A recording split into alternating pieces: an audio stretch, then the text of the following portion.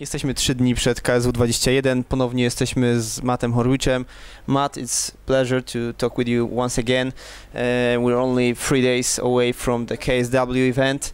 Um, you were originally supposed to fight with Jay Silva. What what uh, do you think about the late notice change?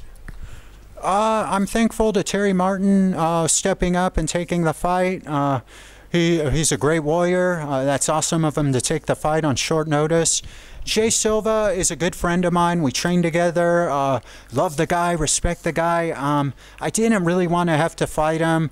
Um, I know Jay needs the money, so he's in my prayers. Um, and perhaps I can be helpful when I get back for his journey and training. But I'm really thankful that I don't have to fight my friend.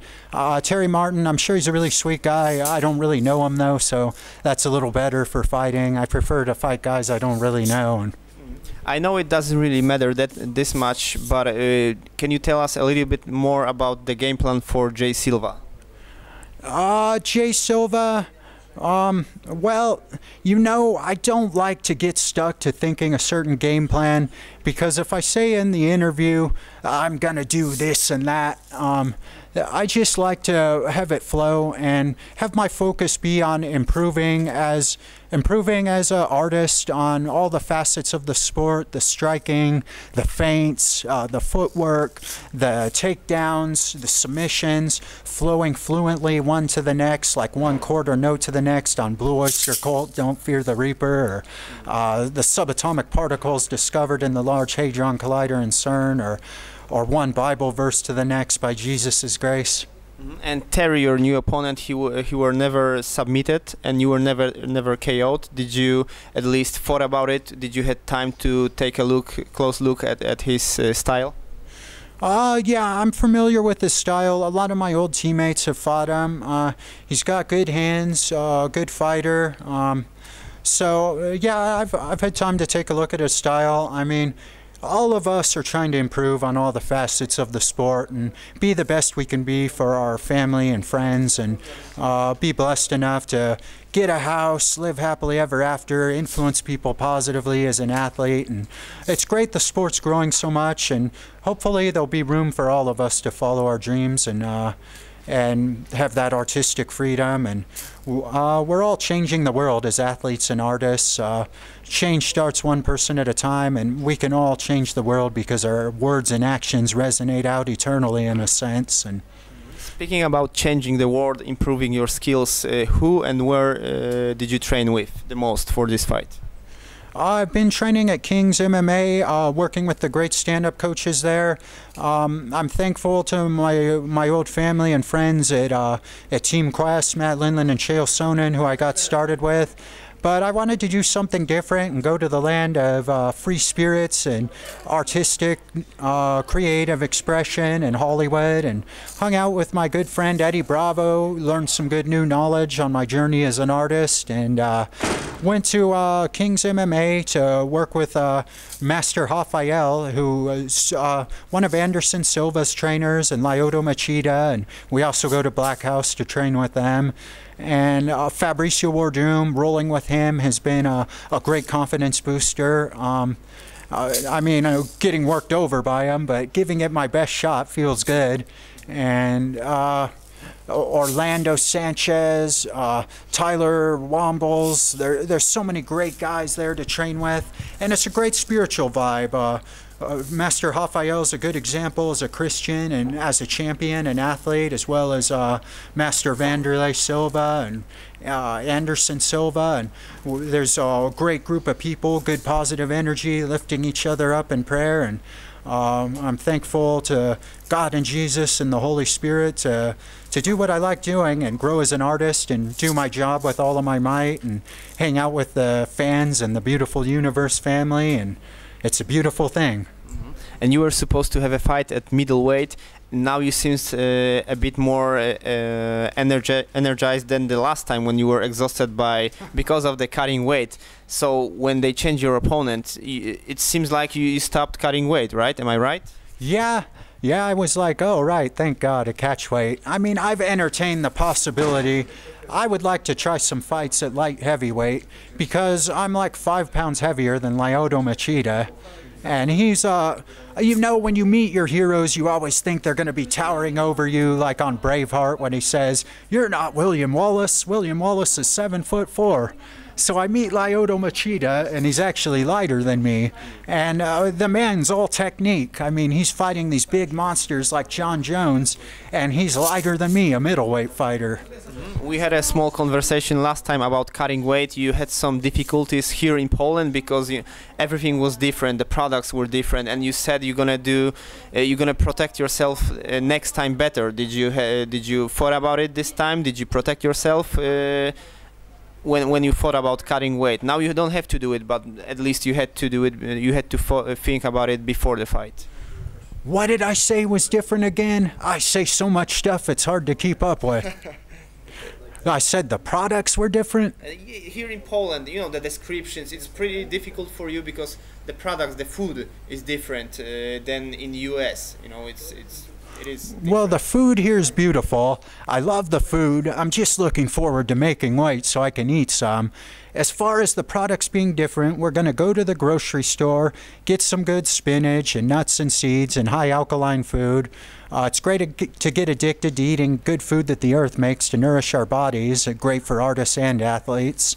And uh, after I make weight, we're going to do that, get some good IVs, and uh, thank God and Jesus that I made the weight, and then eat some more food, and then thank the Great Spirit uh, that I made weight, and then eat some more food and then do the fight and uh, hang out with the beautiful universe family. As far as the products, I don't exactly remember what I said about that. Like I said, uh, I always say so much stuff, it's kind of hard to keep up with. And can you tell us a little bit about the maracas you have here in, holding in your hands? Because you said uh, it helps you somehow to, to find the rhythm. Uh, how much does it help you in, in your training, or it's different thing than training? Well, you know, it's been a memorable experience walking into this fight.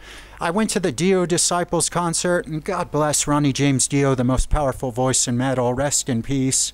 And I was really touched and inspired by how many people there to celebrate uh, how big of an impact he had on our lives. And he was such a such a nice guy, and I would like to have that kind of impact as an artist. And I, I um, got these maracas because it's all interconnected, flowing on music or rhythm, or one combo or tempo in a fight to the next, or one submission or guard pass, or one subatomic particle to the next, and the 11 dimensions of string theory and quantum physics and science. And it's beautiful how it's all interconnected art and science and spirituality and love and unity. And these things are pretty cool because you can shadow box with them. Uh, if we could get the camera up. You can do some pretty groovy rhythms.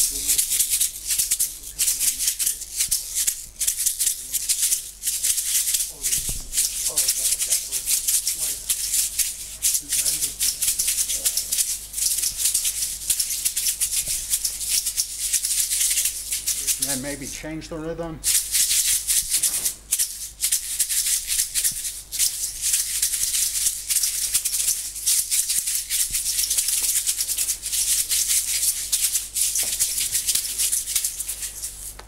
Is this something that uh, because you said you you you train uh, with Black House fighters and they are different than any other fighters. The Brazilian fighters they have their own styles. Anderson has a, a lot of exercises for for himself, designed for himself, and Lyoto probably also. Is this something like you you try to to to the same thing, but it's something different, especially especially for you, right?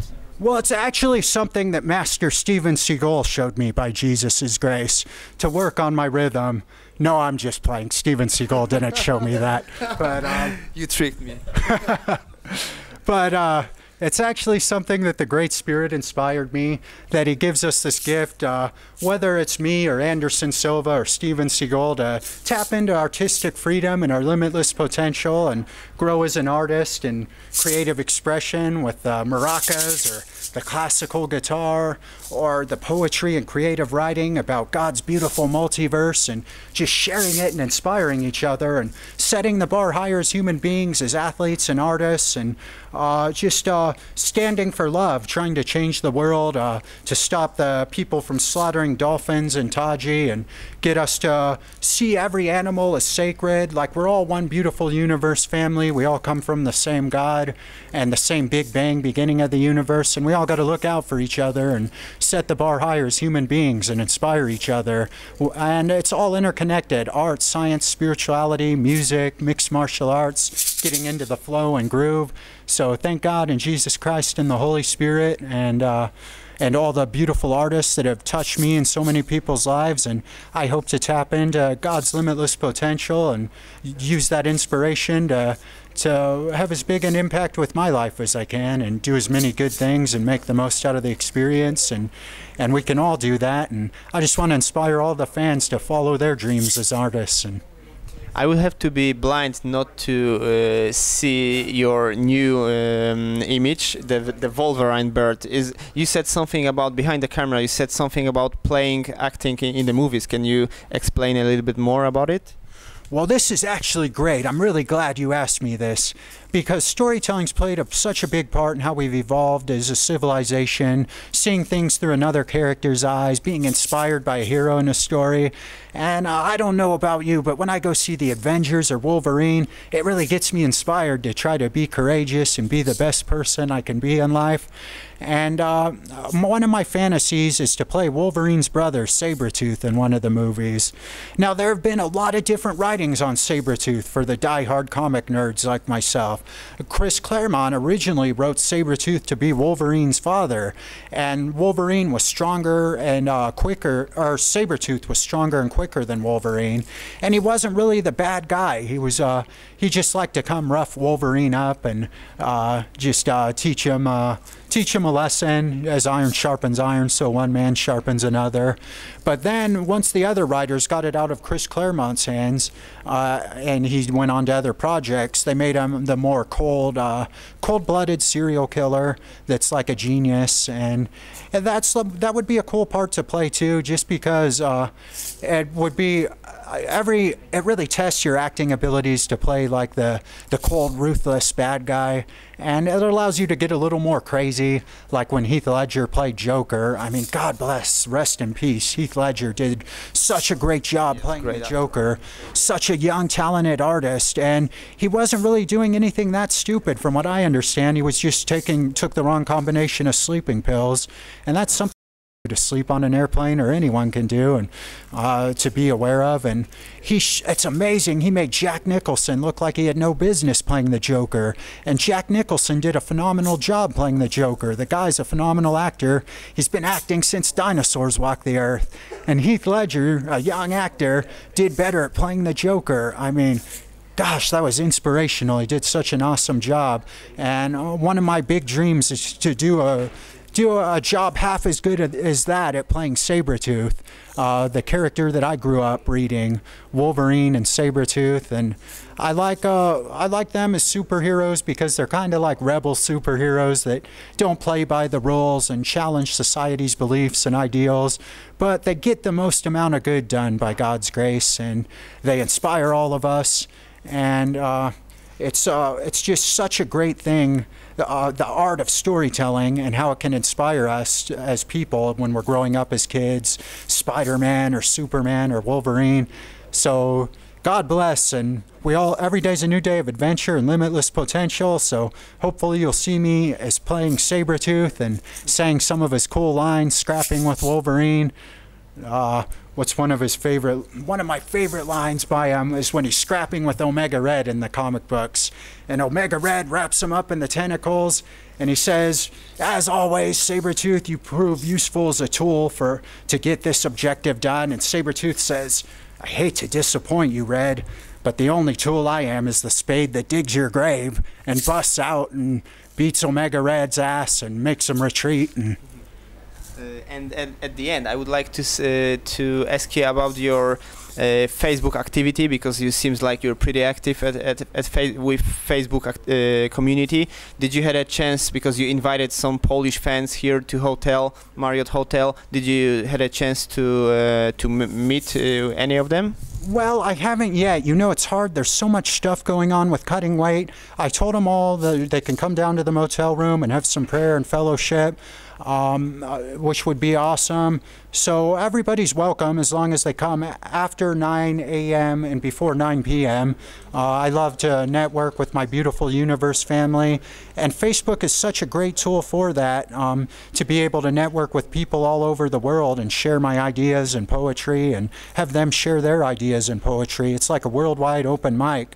I feel like Charles Xavier plugging into the cerebral machine where we can all make contact and share our ideas and learn new knowledge uh, from Wikipedia Encyclopedia or learn tap dancing on YouTube or learn about the maracas or the tambourine or classical guitar or new ideas for mixed martial arts or philosophy or Christian inspirational writers. And it's such a beautiful time and uh, so so many beautiful tools to do great things in Jesus' army of light. And there's so many beautiful women in Poland. Uh, it actually be kind of it's I've actually thought about moving here a couple times but in Hollywood, there's lots of opportunity for me to grow as an artist and try to get into acting and good fighters and everything to train with. And uh, I'm just uh, was married for three years, so I want to see what God's plan is, and I don't. I'm not necessarily wanting to close the door on that. I just want to look at all my options carefully by Jesus' grace and, and choose wisely.